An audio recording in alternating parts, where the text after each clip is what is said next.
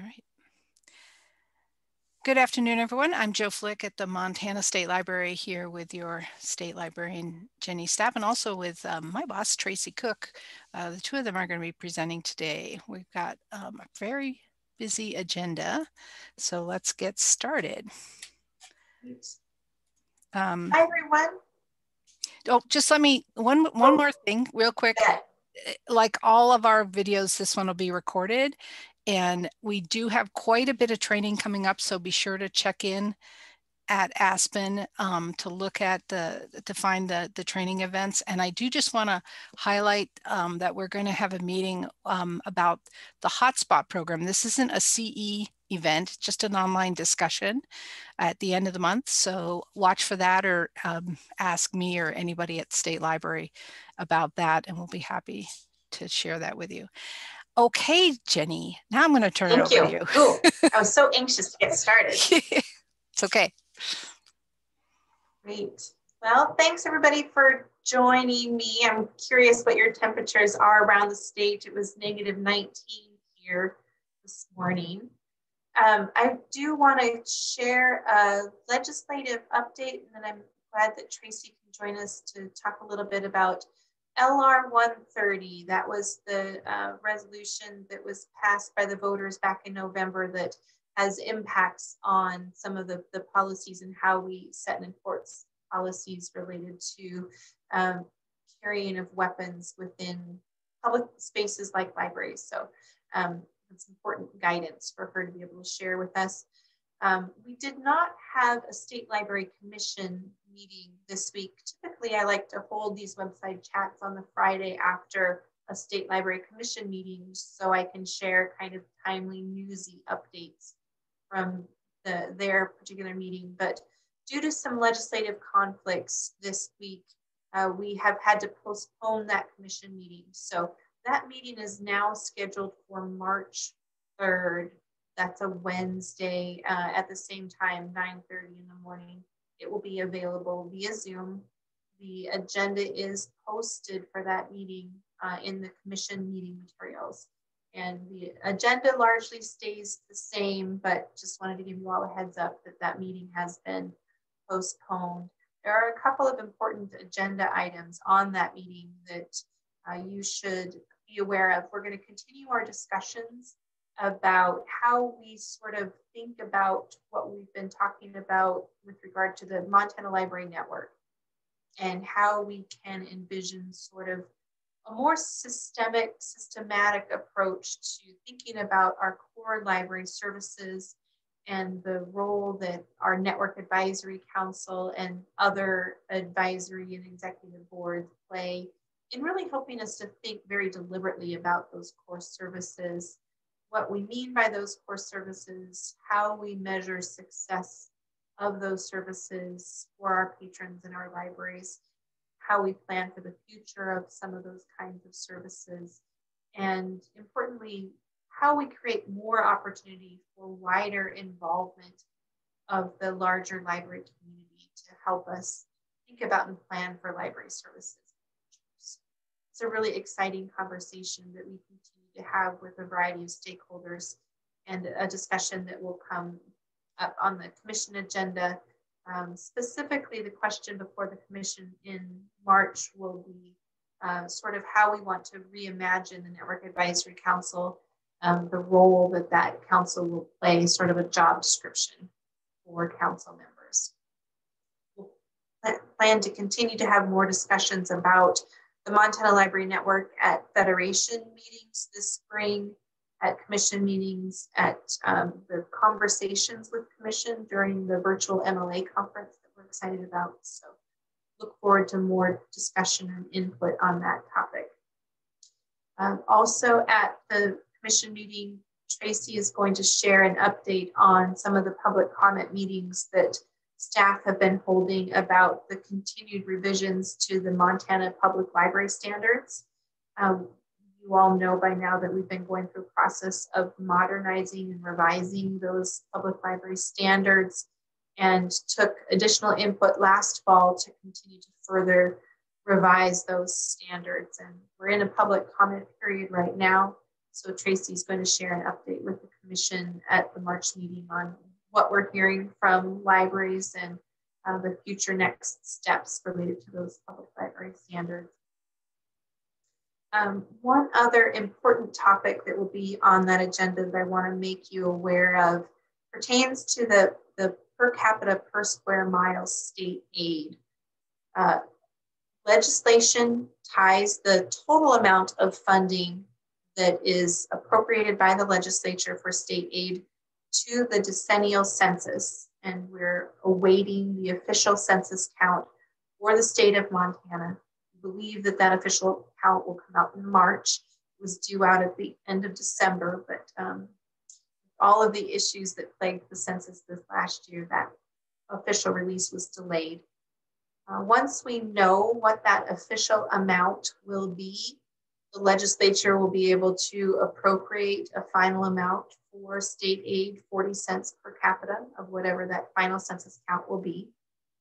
Uh, at that point, we will know how much in total will be distributed according to the per capita per square mile formula to those public libraries that meet the public library standards. Uh, what, what is potentially going to be a bit of a hurdle for us this year is that um, that per capita per square mile formula that's in administrative rules of Montana that determine exactly what appropriation each library receives from that total is also tied to the decennial census.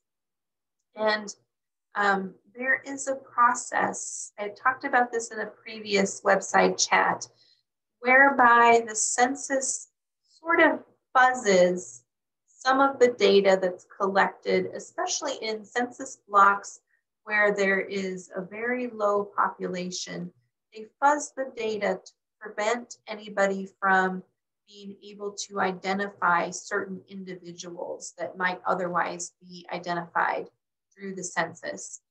Privacy is a significant concern with any census data that's collected. Uh, the census is not allowed to share any data that would allow individuals themselves to be identified. And so the differential privacy process is something that the census has done for many censuses to make sure that that doesn't happen.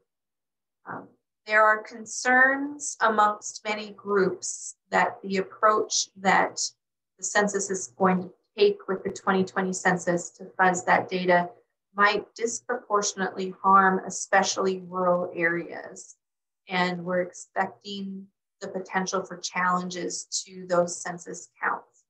And so Mary Craigle, the CEIC coordinator, the Census and Economic Information Center coordinator for the Department of Commerce, is going to give a presentation to the commission about what that means for the state aid distribution. Um, when I asked her if we should be concerned, she said yes. I don't exactly know what that means, um, but she'll provide more information to us at the commission meeting. Um, she has advised us that for other groups that find themselves in situ similar situations where um, some kind of count or something that's tied to a financial measure it is also tied to the census that those organizations are looking at other sources of population data to help advise them uh, on how to do any kind of per capita work that needs to be done. And so the State Library Commission is going to talk about steps that we might have to take if we lack confidence in that decennial census numbers, what alternatives might exist for us to use different sources of data or perhaps combinations of data to make sure that that distribution is as fair as possible if that decennial census is challenged in any way.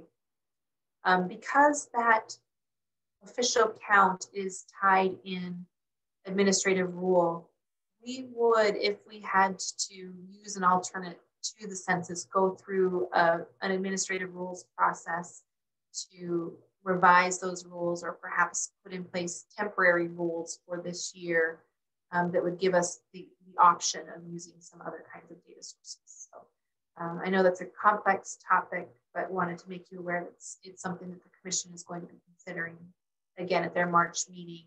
We have a timeline worked out where if, if again, we feel like we don't have confidence or if those census numbers are in some way challenged in the courts, for example, we would have a process in place that would allow us to distribute state aid fairly and equity, equitably in the fall. Just going to pause there and ask if there's any questions. So again, the commission meeting is going to be Wednesday, March 3rd at 9.30 in the morning. Um, those materials are, are, available through the State Library Commission meeting materials, including a link to the Zoom uh, option to attend that meeting remotely. And then I just want to share a legislative update.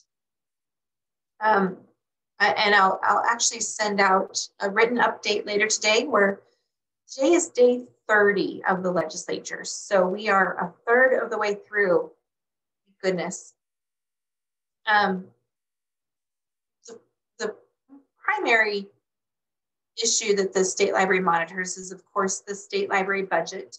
We had a really positive hearing this past Monday, uh, the, um, would that be, the 8th?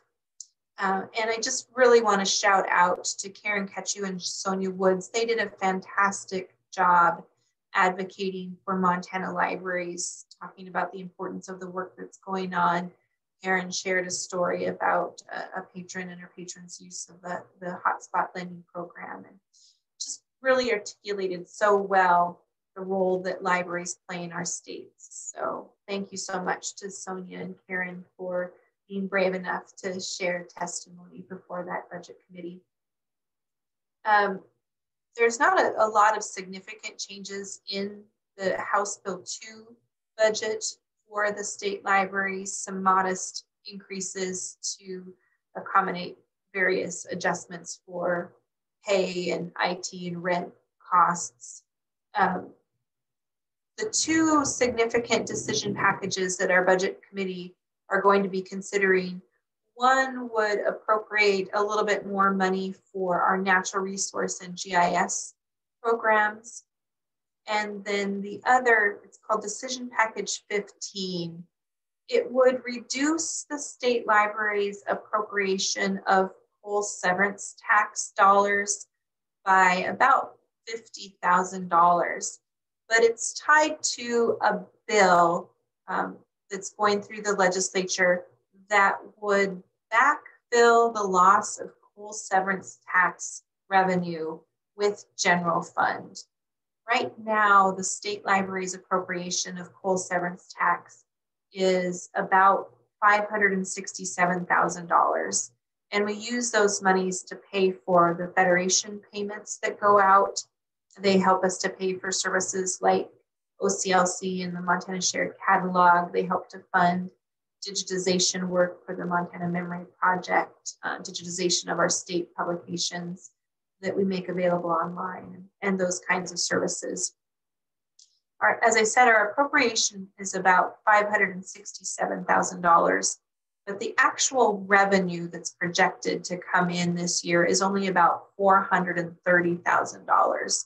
So when we were creating our budget for this fiscal year, we actually budgeted about $130,000, $137,000 less than what we have authority to spend assuming that that cash is not actually going to come in. The bill that I mentioned is taking this kind of scenario into account where if revenue continues to be low around 400,000 or so, that difference between what is coming in in coal severance tax cash and what our appropriation is would be backfilled with general fund. And so um, decision package 15 would reduce that appropriation to right around um, 507 to 510,000 dollars. We're assuming revenue to be in the 400 430,000. So we would see that difference made up in general fund and actually have more cash to spend going forward. That's the hope. Um, the bill that appropriates that general fund um, is now House Bill 374. In my legislative updates, I've listed that as LC 943, LC meaning the bill had not yet been introduced. It's just been introduced this week. That's House Bill 374. It will have a hearing on Monday afternoon. So we'll be testifying as proponents for that bill. So those are the significant changes that um, the Education Budget Subcommittee of the legislature will be considering. They are going to take action on these kinds of change packages this coming Monday and Tuesday.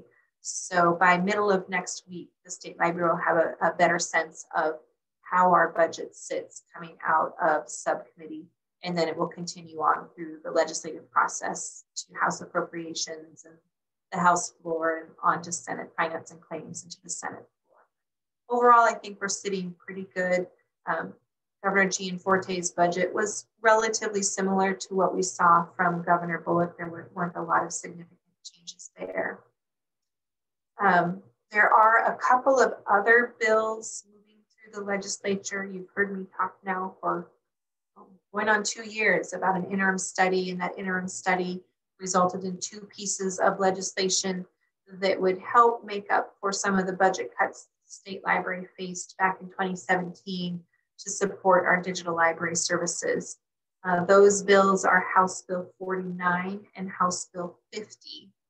House Bill 49 increases the recordation fee, the document recordation fee that people pay when they file documents at their county courthouse. Right now, the state library receives 75 cents for every page of documentation that's filed with the county and then county governments also receive 25 cents, and that those funds are specifically to support GIS data development and coordination at the state and county levels. House Bill 49 would double that fee, so from $1 to $2, with $1.50 coming to the state library and 50 cents staying with the counties to do that work. That bill passed House Local Government Committee and is going to have a vote on the House we're at one o'clock today. So um, I'll be anxiously listening to the House floor debate this afternoon. House Bill 50 is, is for a relatively new program for the state library. It would appropriate $450,000 from the state uh, 911 fund to help the state library, help local governments to improve their GIS data to make sure that local governments are able to make use of modern 911 systems that rely on geographic information systems and accurate GIS data. Um, I say it's relatively new. In 2018, the state library was funded to do an assessment of Montana's readiness to move to what's called Next Generation 911, a GIS based 911 platform uh, and so this funding would then allow the state library to help local governments to address the deficiencies that were found when that assessment was conducted. The data needs to be incredibly accurate to support public safety needs, about 98% accurate. And the assessment found that um, Montana's GIS data for supporting public safety was only about 49% up to date and accurate at the time. So we would use these dollars to help address those specific needs. And then they would help benefit our collections of address and transportation data that we would then share as part of our statewide data sets. Uh, that bill passed out of committee on Wednesday afternoon. It's not yet scheduled for a vote on the House floor, but that should be coming up probably next week. So good positive momentum happening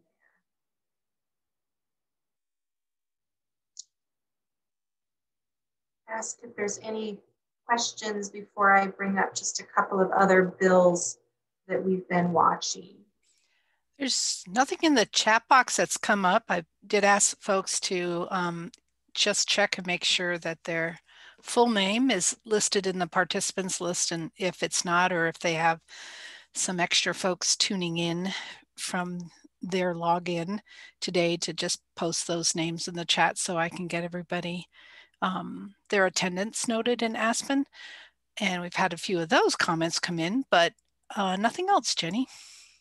Great.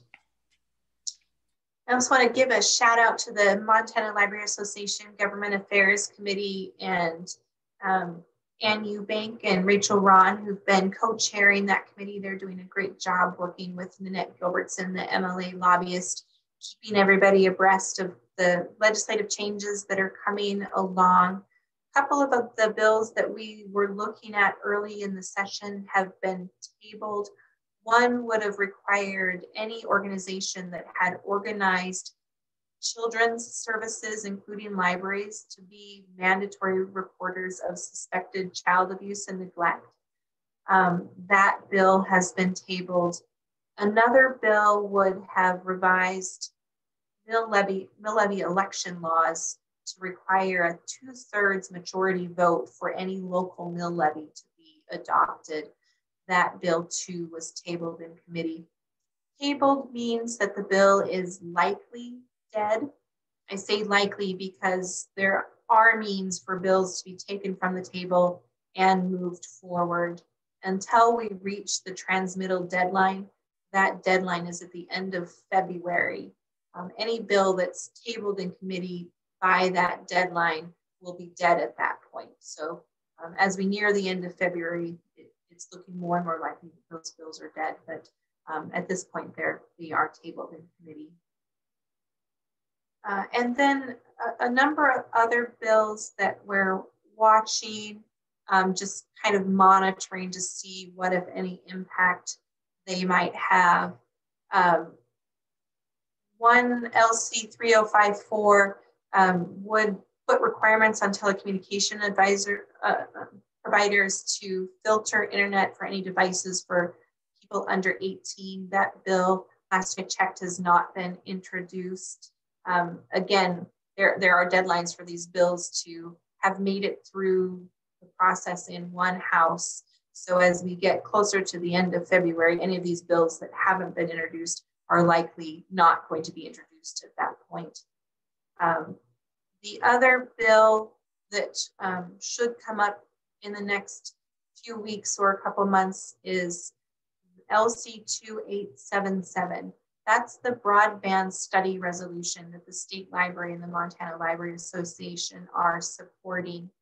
Uh, it would call upon the legislature to conduct a study during the interim to look at a wide variety of both policy and funding needs that the state faces in order to address concerns about the adequacy of broadband. That study resolution has been sponsored by Senator Pat Flowers. Um, and we've been working with a broad group of stakeholders, including telecommunication advisors and people from the education community and the Economic Developers Association to support that study resolution. Study resolutions are a little bit different in bills uh, than bills. They have later deadlines to be introduced. So this resolution doesn't need to be introduced until um, mid to late March before it would then make its way through that legislative process. These study resolutions don't go to the governor for signature.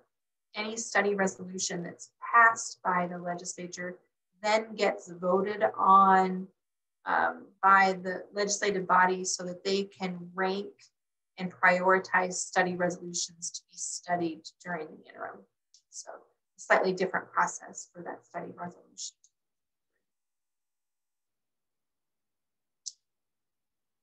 Ask Tracy if there's any other bills that she wanted to share updates on.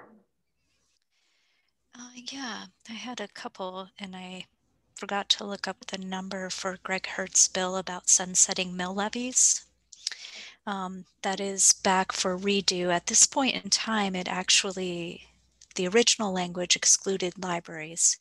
So I've been watching that one very carefully to see what changes are happening. Um, you know, I'm just not sure what language might be changing at this point, but I did want to let you know I am watching that one very closely. That bill basically would say that uh, mill levies would sunset after I believe it's 10 years. And MLA worked very hard in the previous session to get libraries as an exemption. And like I said, they, they were in there in the original language of the bill. I'm not sure what the changes are at this point. And then the other bill I was watching pretty closely was Senate Bill 80, which was about limiting the duration of interlocal agreements. And I just know that many, many of you on here um, do operate under an interlocal agreement. And I'm very happy to report that the sponsor made an amendment and he basically uh, took out the language that would have impacted every single kind of interlocal agreement, and he's actually just focused on subdivisions. So um, that was actually a happy thing to see. And I, I think those are the, the two um, at this point, Jennie, that you've mentioned the others that I've been watching as well. Great. Thanks, Tracy. So as I said, we're nearing some key deadlines when um, we'll know what of these pieces of legislation are going to continue to move forward in the legislative process and which ones will die either for um, lack of transmittal or, or lack of having been introduced. Uh, overall, I think a, a, good session so far. And um, just again, want to express my appreciation to the Government Affairs Committee for their activity. Uh, it's really helpful to have a group of people to help monitor bills and to share ideas and concerns and questions we have as legislation comes up. Um, two thirds of the way still to go, but I think right now I'm cautiously optimistic, optimistic that from a budget perspective, things are looking good. Um, and I'm not seeing any legislation that's too concerning for us at this point. And I'll stop and ask if before I turn it over to Tracy. Jennie? Yeah. Um, hello. Hi. Um, I do have a question. There was one I was watching about um, requiring library personnel to report um, suspicious things about child, possible child. Okay. Yep. Can you comment on that at all? Um, it is tabled in committee, so likely dead.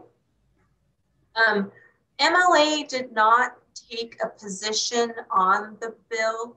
The primary concern that uh, some of the opponents raised was that in addition to requiring library staff or staff of organizations to be mandatory reporters, it would have required volunteers to be mandatory reporters as well.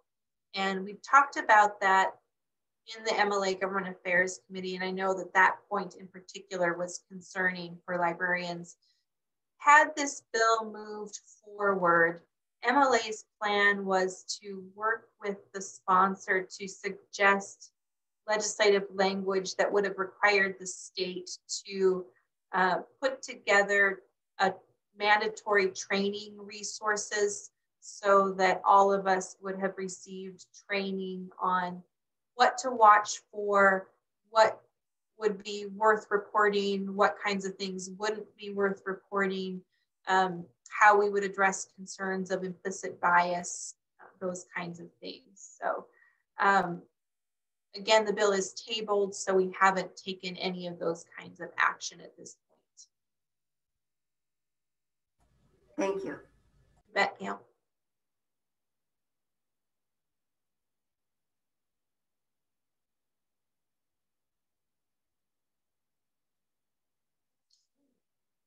Tracy.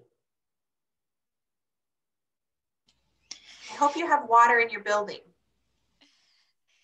Yes, actually, I found a heater and the pipes are thawing. There is one leak, so there might be a slight crack.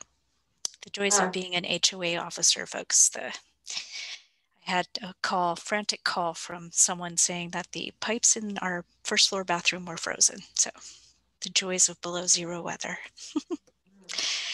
Um, yeah, so I would like to talk about LR 130.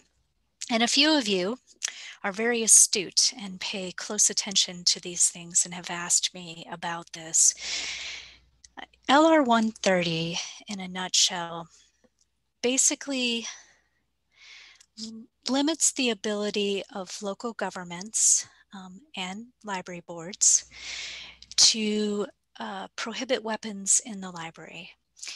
And you can still prohibit open carry of weapons. Um, you can also prohibit the carrying of concealed weapons if the person does not have a permit.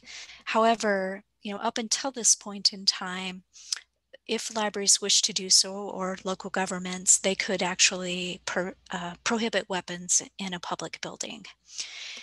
But there was a issue on the ballot that was voted on that kind of changed that ability to be able to prohibit weapons in the building. The Montana Association of County Officers has a very nice white paper that I will uh, send out to public library directors for you to have. I think it does a really nice job of basically explaining your rights and what you can uh, and cannot do. Um, I don't know how many of you might at this point in time have a policy of no weapons in your library, but if you do, you will need to kind of take a look at it and make sure that it is focused on simply prohibiting open carry of weapons or prohibiting the carrying of concealed weapons without a permit. It's probably unlikely that if someone's carrying a concealed weapon, you will know um, and I wouldn't blame you if you felt a little uncomfortable asking if you did see a weapon. However, you do have the right, if you see a weapon, to ask the person if they have a permit. So those are kind of the, the key points about it. I just kind of want to pause and see if you had any questions about this. Um,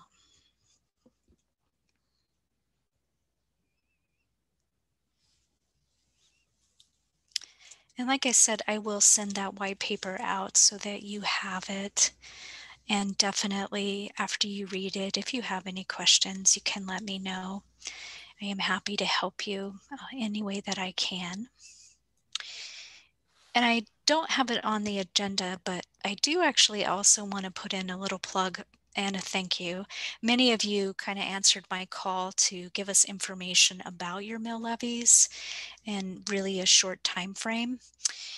And that was very helpful. I mean, I'm grateful that the bill requiring two thirds vote is tabled, and I hope it remains that way.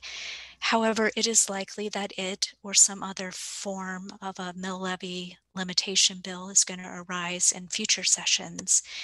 And so I would really appreciate it for those of you who maybe did not get a chance to complete that survey, and I'll, I'll copy the, post the link in the agenda. I'd be really grateful if you would take another look at it and just reach out to me if you have questions. It is very technical. I, I however, found it very useful to see your answers to my questions, um, both to be able to just kind of come up with an argument for why um, there shouldn't be a requirement for a supermajority to pass mill levy votes, but also just, just kind of understand uh, how many voted mill levies we have in Montana and how many are permanent versus durational. That kind of information is very useful. I also think it's kind of wise to know what you have. And I realize that those can be hard questions, but I am happy to help you and help you work with your clerk um, or treasurer because they would be the ones to know to try and find the information to that. So I did want to kind of use this as an opportunity to put in a little plug to ask you to complete that survey if you haven't done so. So I will go ahead and post that in the chat. Um, but at this point, those two things were kind of all I had. Um, and thank you again, Jennie, for giving me an opportunity to talk about those at your chat. Absolutely. So Tracy, this is Nancy with Buzzworth. Mm-hmm. Could you clarify that that gun thing again? Does that mean we cannot stop somebody from coming in with a gun? Is that what you're is what it ended up being? I guess I read the whole bill wrong. So um, if they're openly carrying a weapon, like they have it literally in their hands, you can prohibit that. If it's a concealed weapon and they have a permit, you cannot deny them entry into the library. If they have a concealed weapon and they don't have a permit, you could deny them entry. It's a very, it's very confusing. basically, you can no longer prohibit concealed weapon carry in the library if the person has a permit. Does that help? Yeah, it helps. Okay. Except if they're carrying concealed, you won't know that they've got a gun and I know. sometimes they don't carry those permits on them and I'm not going to argue with somebody with a gun. Yeah, I don't think many people are. But but this is Jo Tracy. Um, this means you you can't have a a policy though that says no weapons allowed. Right. Yep. So what about? But this is just addressing guns. I mean, oftentimes we have. I've seen um, policies about knives being over a certain length. Mm-hmm. Does this affect that? You know, the way that, and I have to admit, I don't know. Are you given a concealed permit for anything other than a gun? It says weapons. So it's basically the, the changes in the law took away a local government's power to regulate the carrying of concealed weapons. It doesn't say just guns, but I confess I do not know. I, uh, what the concealed permitting process allows. Um, I always think of guns, but does it allow knives? It's a good question. Yeah, we should probably do some more research because I never thought about that either, Tracy. Yeah, I will try to find out, Nancy. I just won't bring my butcher knife to the library to peel my apple anymore.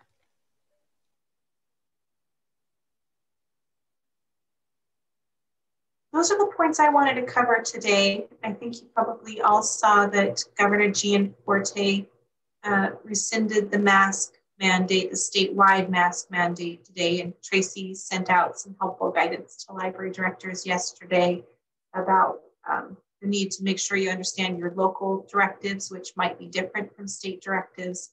And then a reminder that library boards do have the authority to set their own policies. Your board wishes to do so. So um, be sure that you're aware of that information. We'll be having an upcoming um, COVID check-in to talk about those kinds of issues in a little bit more detail as well. This is Jo. I, and I just, on that topic, we, you know, we state employees received a communication today about um, publicly facing uh, persons who are working in state offices still have to wear a mask. And um, you know, there's still quite a few situations where pub where state employees are are required. So that might be helpful for people to know if um, if they are looking to institute, you know, mask um, policies at their library. But you but I'm sure you're right. You know, getting on board with your local municipalities where it's at right now.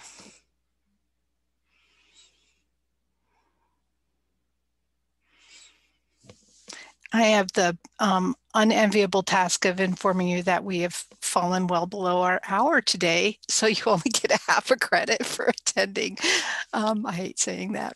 Um, so don't, luckily no one can throw tomatoes at me. Um, tomatoes are too expensive this time of year anyway, but um, I will be getting the uh, your attendance noted in Aspen. Thanks everybody for posting to the to the chat so I get those those names. takes me a little while to do that, but it should be done by the end of the day.